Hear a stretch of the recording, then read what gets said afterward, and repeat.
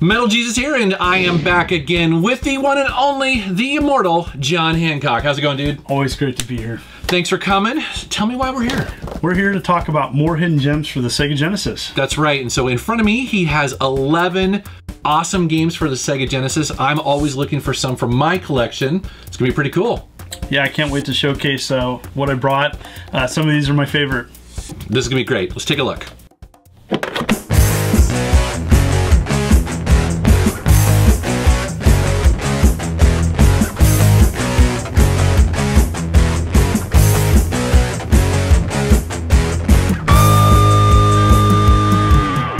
Okay, dude, so first of all, what is a hidden gem?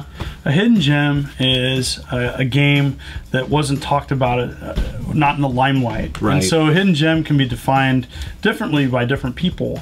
Uh, the hidden gems I brought um, are, are games that, that really were not. Uh, um, Like well marketed? well marketed you know Yeah. that they weren't you know they might have been in a magazine they might have had even a full page spread but after the game came out and made its sales that was it Yeah. and if you didn't grow up with it you don't know about some of these games Yeah, definitely. Okay, cool. Yeah. All right. Well, I know that question comes up a lot, so I kind of want to address Yeah. that. So, what is the first hidden gem? oh i have to talk about this Oh, you're going here, huh? yeah i'm gonna go here Okay. so uh buck rogers Yeah. Countdown to doomsday. So, um, if you have a partner and you want to break up with them, have them have them watch you play this. So, Wait, we're recommending this game. Yeah, right? so okay. recommending it. Uh, it's a it's a it's a crazy awesome game. Uh, science fiction, very action strategy. It's it's turn based. Right. Um, there's resources. You you have a crew. Yeah. You eventually get a ship, and there's like even like ship warfare. I mean, it's really in depth. Yeah. It's really nerdy. and if you're like want to pick up and play a game, this is not the game for you. It comes with a massive booklet, just so you know. And actually, Eight, nine. When, when you first brought this over, I was like, oh, I have this game, but I have the original version that came out on PC. So it's by a company called SSI, and they made all of those really great gold box role playing games at the time, like Pools of Radiance and stuff like that. So very deep RPG game. It's cool that they actually even made this work on the Genesis. I, I know they optimized it a little bit, uh, you know, little places here and there. So Yeah, it's cool. It's it's great that Genesis got a solid port of it. Absolutely. It is a it is a well made game, and, and not a lot of people it doesn't come to mind of like oh that's a Yeah. good Genesis game. yeah. Definitely. Next up, Light Crusader. What is that? Light Crusader is an isometric action RPG game Hmm. that came out in the mid 90s. I do believe at the time of uh, the next gen consoles. So when the next gen consoles like Saturn and PlayStation were Oh, being marketed, people weren't thinking about the Genesis. And Right. so this was a late release. It's a cardboard box. Fantastic game. It's it's not perfect. It's short. It's about you know seven eight hours, um, in in in one main dungeon, but fantastic. Like I, it's very well made, Hmm. um, and it's going to cater to a certain like action RPG person. Okay. But um, I really like it a lot. I mean, it's it's it's well done, and uh, you know I'm at a point now where I don't like the long long. Games. I'm the same way. Yeah. So this is you can beat this. Huh. Okay. Definitely. All right, next up is an arcade upgrade Okay. uh, called Toki Going Ape Spit. Uh, You have to say that carefully. That's right. Yeah, Toki Going Ape Spit. so this is an arcade game. It's an upgrade to the arcade game with Okay. some additional levels, and uh, they took some power ups and added some power ups, and it's really bizarre. And so, um, you pretty much it's it kind of has a story a little bit like Altered Beast, Hmm. where um, you get morphed into an ape and you have to go, you know, save your girl. Okay. And but it's more of a cartoony uh, platform style game, but Hmm. it has some shooter mechanics to it. Okay. Yeah, good stuff. Next one. Battletech. I love these mech games on the PC back in the day. So Battletech, um, think of, I, I know that I talked in, in the earlier video about Final Zone. This is actually a closer rendition of Desert Strike in robot form. Oh, cool. And so BattleTech, uh, you you're, you control a large mech, and you're you're you're blowing stuff up, and it, you know you have certain things you can blow up and and and missions and. Uh, and 16 megs of power. That's right. That's right. It's the robot. Again, this is a game you have to play a little bit to get used to controls. Um, I don't say the controls are perfect, but it's it's a solid game, hmm. and nobody's played it. And well, I don't say nobody, but yeah. few people have played it. I do believe it was uh, a Mech Warrior label on because it's in the Mech Warrior universe right. on the Super Nintendo, but okay. on the Genesis version they call it BattleTech. Wow, cool. Next up, one of the best covers on this whole episode here. Absolutely, Skeleton Krew, and Skeleton with a K. Yeah, Skeleton Krew. Again, a, a late release. My core. Yeah, they they did uh, Tomb Raider. Yeah, they did huh. awesome stuff. Hmm. And um, again, a late release, isometric view action game, two player, hmm. um, hard. Okay. And the artwork in this game is fantastic. It, it oozes with theme. It's it's very much nails a, a great um, action. It's a little bit of puzzle in there, but um, solid game. It's hard. Huh. Um, it's fairly hard to come by, unfortunately. But um, for, if you can find this, especially, it's a it's a good play. Okay, cool. And speaking of the immortal John Hancock, here you have the immortal. The immortal. yeah, the immortal is uh, kind of hard to classify because part of it is uh, an action game, but it's not just an action game. You, you control a, kind of a wizard character, and there's there's puzzle aspects of it. Hmm. You're in an isometric dungeon, and um, there's a lot of you know puzzle solving in the game. So it's part action, part RPG, part puzzle. Um, and it's pretty challenging. And ironically, in, in the game called The Immortal, you die a lot. You die a lot in this game. False advertising. That's right.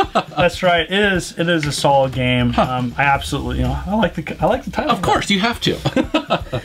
um, next game, uh, again, you know, EA really. Uh, really nailed the Genesis titles. They they came out, you know, for, for a company that got known to be, you know, the sports Goliath. Right. You know, they had so many great uh, independent titles on the Genesis, and and Technoclash is, is one that they published. Hmm. And Technoclash is an action-heavy overview. Um, it's part steampunk, part cyberpunk, hmm. part something else. Um, it's hard. It's challenging. Um, these games are hard to classify into one category. Some of them, which is kind of a cool thing in my it opinion. Is. Huh. It is, and I think it's one of the things why they kind of weren't in the limelight because you know they they, they were a little bit having an identity crisis. Maybe hard to, to, market. Hard right? to market, yeah. definitely. Cool. This next game I've seen a little bit of. People have talked about it a bit. So Growl's an example of, a, of an it's an arcade port, right? And it's a game that wasn't perfect. So the big complaint with this game is it was one player. Okay. If you can get over that, it's great. So. Okay uh, a brawler. Right. Has grenades. Yeah. Has fire. Whips that, yep, that go back and forth. Yep. Yeah. Um, it, it's fairly violent. Animals that fight for you. Yeah, right? animals that fight. You're saving animals by killing humans. Makes sense. okay. And so yeah, yeah, it's it's it's a great game. It's actually one of my favorite uh, brawling style games. Probably in the top ten on Genesis. But it, you know, it's it's imperfect because it, the complaints were it should have been two player. Uh, I still like it. That's cool. Huh. This is one I'm very familiar of. Uh, I have it in my collection. I think it's amazing. It's Steel Empire. So, have you played this a lot? I've played it a little bit. Um, part of the problem is I get overwhelmed in my game room yeah. playing other things. well, it's one of my favorite sh- you know shooters on the system because it's kind of unique. It's a steampunk side-scrolling shooter, but it's fantastic. Like backwards, you can shoot forwards. There's great boss battles. There's a level up system in it. Now you can choose one of two. Right. Uh, you have like a blimp, and then you have another uh, like an airplane thing. I think so, but I never chose that because I'm yeah. like, what other game can you play a blimp? None. Yeah, I know. Awesome. But it's great. I mean, it's got great scrolling in the background. It's really fun, and not a lot of people talk about it. And you have a complete copy, which makes me very jealous. yeah, I, I, got that a long time ago at a, at a store called Bogbean Books and Music. Oh, really? In Redding, California. Yeah. Oh, those were the I won't days. tell you what I paid. I'm sure. So this is a, a, favorite of mine. Hmm. And so uh, in the previous video, I talked about Subterranea Right. um, being a being a hidden, hidden gem. Well, Red Zone is just as much of a hidden gem as that. Hmm. And Red Zone can be defined if if you had a game a little bit like Desert Strike, but had all 3D graphics. Hmm. This game gets voted on many lists of having the most uh, technological feats Okay. in one game cartridge. I have a copy of this. That's That's right, because I popped it in and it has a movie in the beginning. Yeah, full motion video. That's right. I was shocked on a You cartridge. Yeah. 3D rendered like uh, game graphics. It is really really impressive. Okay. The actual game is okay, and you have two parts of the game. You have like a helicopter attack part, and then you go to like an overhead, like you're you're a, you're a guy going around doing mission based stuff. Right, And so that. that's not as cool, but it's worth checking out to see what the Genesis could pull off. And Yeah. it's definitely on my list. Yeah, it's funny. I didn't recognize it originally based on the cover because I've never seen the cover, but I remember having Yeah. the cartridge being blown away. Okay. Yeah, it's got a cool cover. Um, Yeah. Again, it's one of those things where red zone. It's like, what are you talking about? Yeah, what does that mean, right? Yeah. Now, this is a game that you showed me in our list. I was like, oh, did we talk about that one already?